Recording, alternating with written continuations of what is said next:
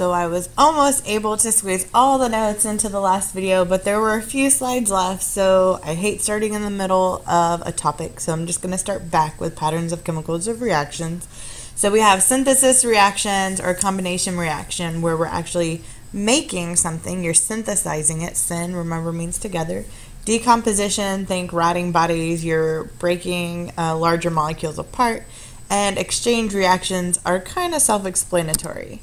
So synthesis reactions, we've got A, we've got B, and then we've got AB. So we're taking small molecules or atoms, and we're combining them to form larger, more complex ones.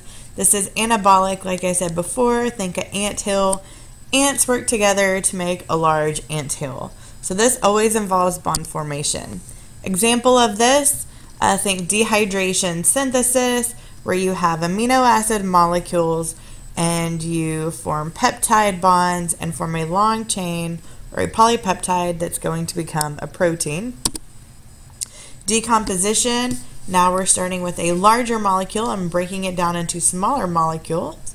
Um, it's the exact opposite of a synthesis reaction. Of course, now we're breaking bonds. These are catabolic. Remember, I told you all the story uh, think cats destroy things, right?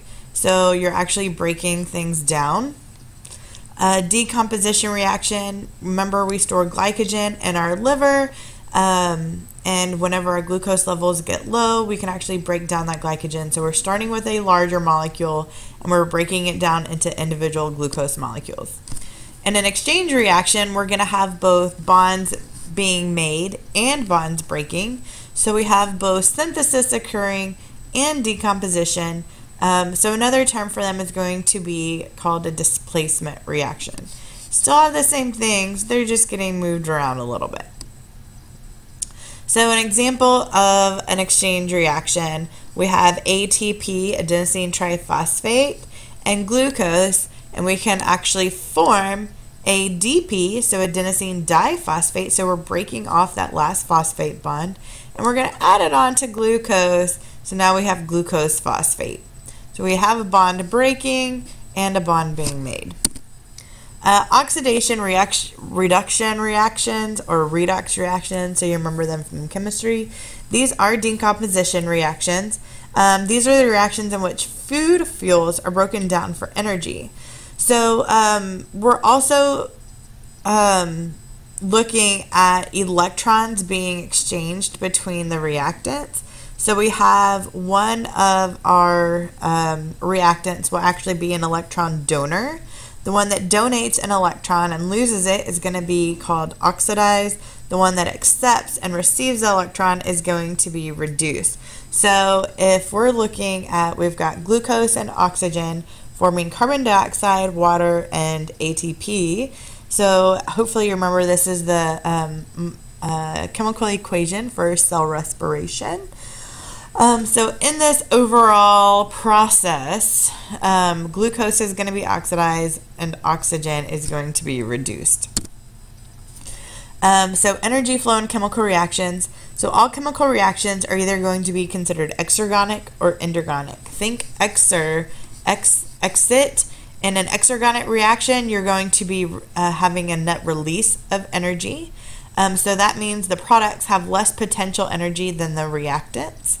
And um, uh, so this is going to be your catabolic reaction, so actually breaking things down, and oxidative reactions. Endergonic reactions are going to have a net absorption of energy, so they're going to require more energy to actually take place. So the products are going to have more potential energy than the reactants, and these are going to be your anabolic reactions. Um, so reversibility of chemical reactions. All chemical reactions are theoretically reversible. If you have A and B and form AB, you can break apart AB to now form A and B. Um, a chemical equilibrium occurs if neither forward nor reverse action reaction is dominant. So that is possible for some of these.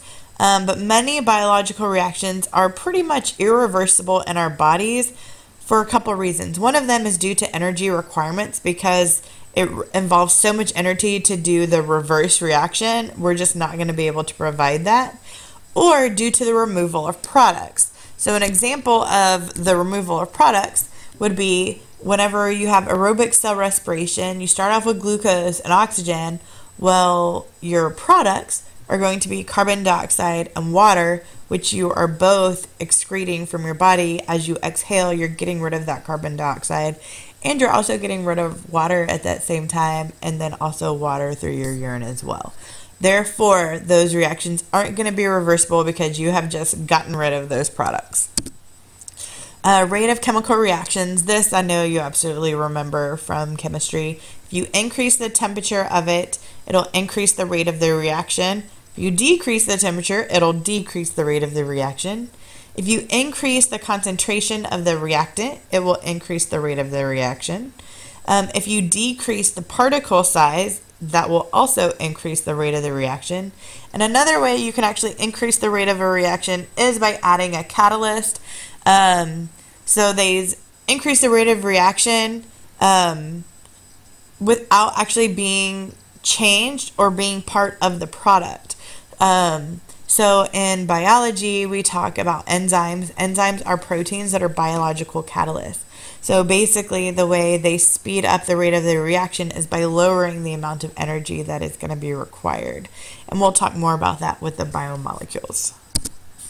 And we're done.